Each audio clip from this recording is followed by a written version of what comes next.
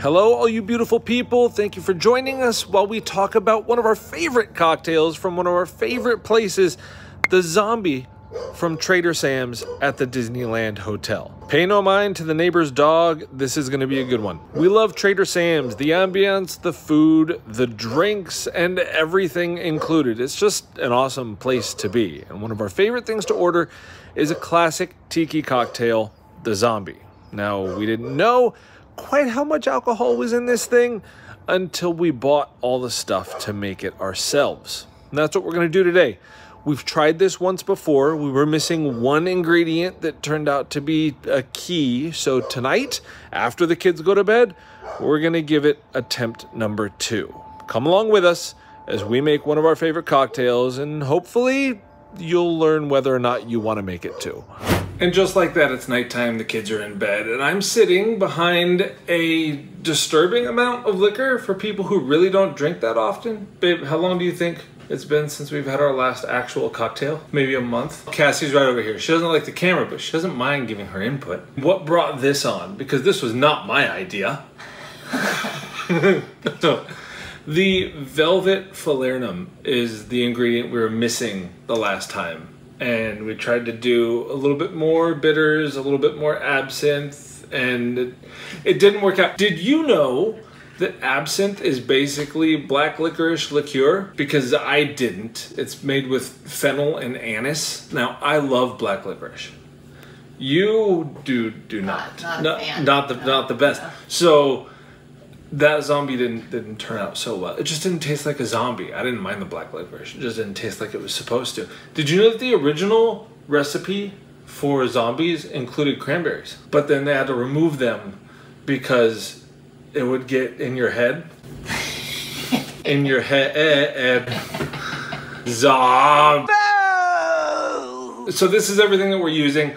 If you want to just skip straight to fancy pants footage of a quick distilled recipe for this, head to the uh, the, the chapter markers down below. But this is live time, so let's do it. Let's start with the booze. I got I got everything that we need. Read off my ingredients for me, and let, let's start mixing here. So we need ounce and a half of Bacardi 8. Um, we're gonna use our our fantastic little Jeff Granito glasses. Let's see that. Ounce and a half, you said? Yes. Okay, ounce and a half. I like this little Geyer because it has measured marks on the inside for me. Okay, so ounce and a half of Bacardi 8. Let's do the Appleton Estate Jamaican rum next. Uh, ounce and a half. Ounce and a half. Did, did I mention this was not the cheapest cocktail in the world? No, it isn't. Is an ounce and a half for this one? Yeah. All right. But neither of the zombies at Trader Sam's, so it all balances out. I mean, we're gonna have to actually do the math and see how many cocktails we're gonna get out of this. yeah.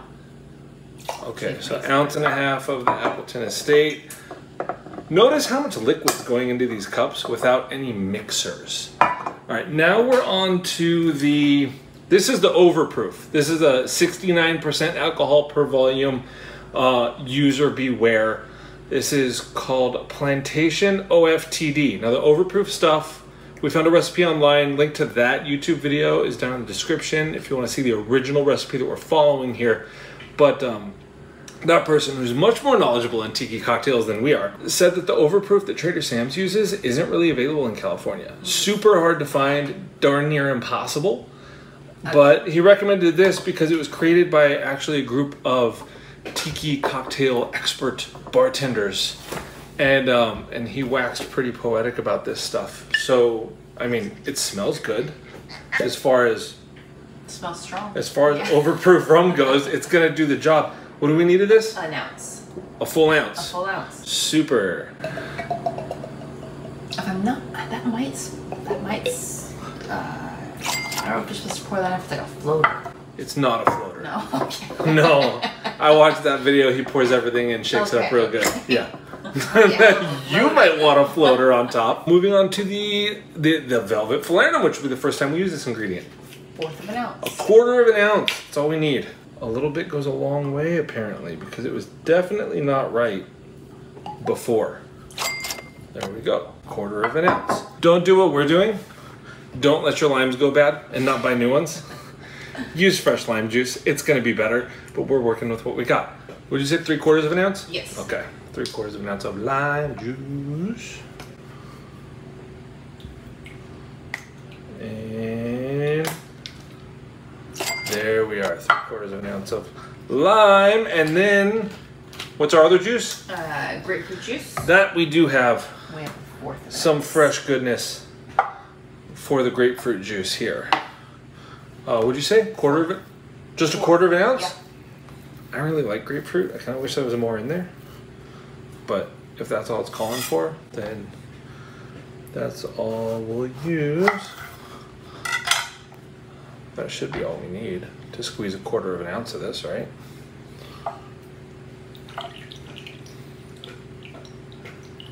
Precision. Almost exactly a quarter of an ounce. First take. Love that. Okay, and then two dashes of what the bartender called herbistura.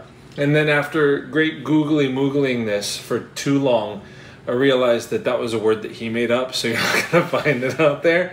It is equal parts Angostura aromatic bitters and the aforementioned absinthe. Uh, I forget what absinthe we bought. I'll put a picture of it on the screen. There you go. That's the absinthe that we bought. It cost us like five bucks because we lucked out and found a little airplane bottle at Total Wine. That's the one thing we didn't have to buy a full bottle of. And the reason that we didn't buy a full bottle of it is because we just knew that we needed to take equal parts of that and bitters and two dashes. That's all it needs. You still need the cinnamon syrup and the grenadine. I, I, I forgot ingredients, mm-hmm. and those are in the fridge. And that is where jump cuts come in handy. Magic. Okay, so we made our own cinnamon syrup and grenadine. Um, specifically, you made our own cinnamon syrup and We- grenadine. How did you make the grenadine? Uh, it's just one to one uh, pomegranate juice and uh, sugar. And you make like a simple syrup, so you just cook it on the stove. Okay, so if you did a cup of sugar and a cup of pomegranate juice, Yeah. cook it on the stove till it melts together and becomes a liquid, and toss it in the fridge, right? Yeah. All right. How much homemade grenadine do we need? You can buy the stuff in the stores, but after reading all the ingredients that are included, it just didn't seem like it would be as good because there was there, there was so many more ingredients than sugar and pomegranate. Uh, POM Wonderful, right? We found like the Safeway pomegranate juice. Store brand. Okay. Yeah. So what whatever your standard pomegranate juice is, as long as it's not the cocktail, just just pomegranate juice. How much of this do we need? Uh, an eighth of an ounce. An eighth of an ounce. That's like not even worth measuring almost. Okay. So there's our. It doesn't feel like enough. Okay. Just a little. Yeah. Eighth of an ounce plus a plus a, a tiny splash, half a splash, and then our cinnamon syrup. Same thing. Simple syrup, and you toss some cinnamon sticks That in, right? That one was uh, had some yeah. You had to steep cinnamon sticks and then make it a simple syrup. Uh, simple syrup. So Okay. it's better to Google a recipe. Okay, so to make to make your cinnamon simple syrup, Super easy though. It was Um, very easy. toss that into the Googler and, and look up your favorite person uh, Yeah. slash recipe. Uh, how much how much of that do we need? Uh, fourth of an ounce. Quarter of an ounce more than the grenadine. That's interesting. And there we are. That's that's everything. That's everything right there. Through the continued magic of jump cuts, we now have a cup full of ice, and we're just going to fill this up to the top. And normally, would you call it a cocktail? No, because you got to shake it up to make it proper. Toss it in here, shake it up. I'm sorry, everybody out there.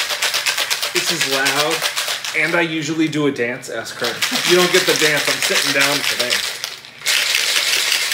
But the more you shake it up, the better. I've found that it's hard to overshake things. But as long as you shake it until your shaker is nice and frosty and, and darn near hurts your hands with the cold, that's kind of what you're looking for. There we go.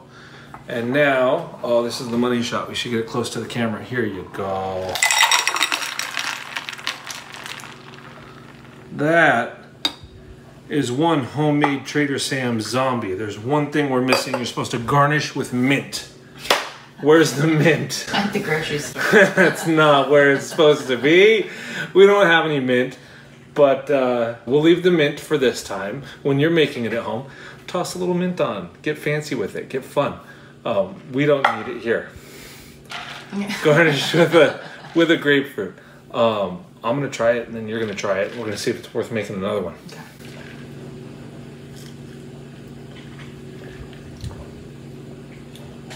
That is unbelievably different than the last time without the falernum and the too much Yeah. absinthe. That made a huge difference.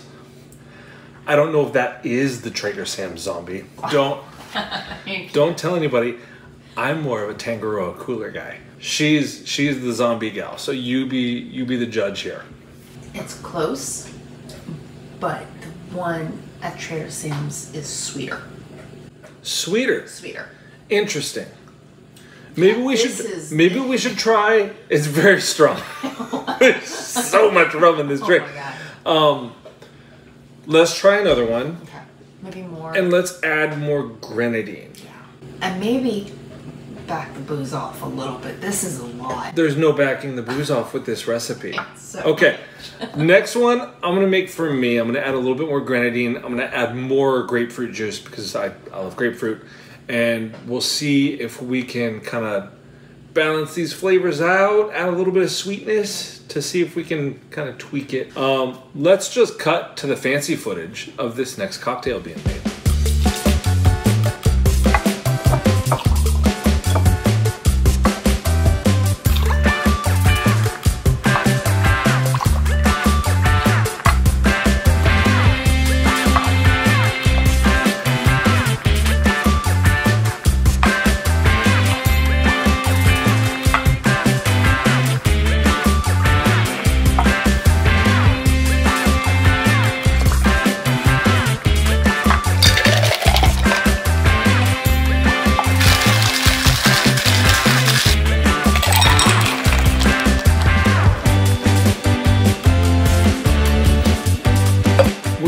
Please just pretend that there's a little bit of mint on there? It really would finish it off nicely. Okay, let's try this one.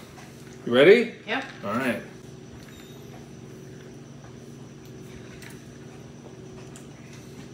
That's better. Yeah. That is, for my taste, much better. So, what I did was I kicked up the grenadine a little bit.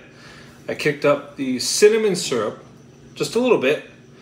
And then I added, instead of a quarter ounce of grapefruit juice, three quarter ounces of grapefruit juice. I like grapefruit juice.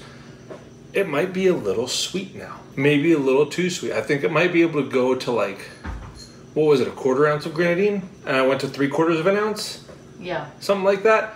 I think it could settle with like a half an ounce of grenadine and be good. But you tell me.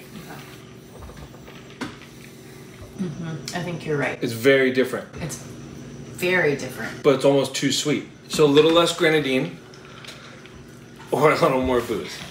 right? this this is primed and ready for your floater.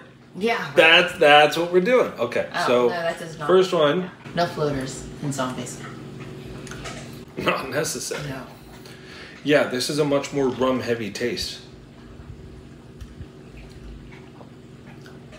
And this is a lot more citrusy, And which I prefer. you do. I think when you look at Trader Sam's, I understand that that's not Trader Sam's No. zombie, but The- given that, that given how much I like the Tangaroa coolers and the flavor profiles that I typically prefer, The- basically anything with the grapefruit in it, like the grenadine heavier one is more like the Trader Sam's zombie, though, because the Trader Sam's zombie it's a little sweeter. is a little sweeter and It's not quite as rum forward. Yeah. There's plenty of it in there. Yeah. We've had many a, let's call it a slight stagger ar- around the park Uh-huh. and downtown Disney after a trip to Trader Sam's. Here you go. The zombies at Trader Sam's are not lacking in the alcohol department, but I think this cuts that a little bit. And for a lightweight like me, that's great. Uh, if you're not a lightweight and you love yourself some dark rum, stick with that original recipe. It's fantastic. But either way, I wasn't keeping a running tally. I'll put a running tally up on the screen so you're going to know how much this cocktail cost us. I'm not going to know the exact amount until we edit this whole thing together. It's like a $140 cocktail.